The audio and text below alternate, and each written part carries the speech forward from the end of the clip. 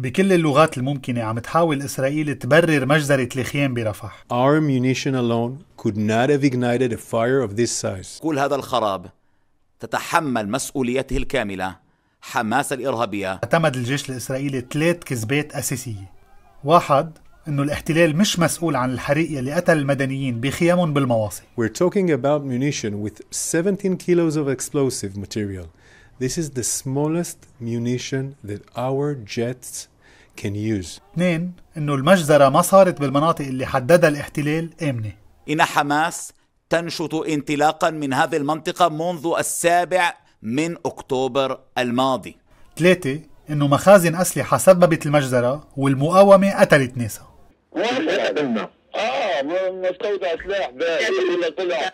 يعني اللي اليهود مش قوية.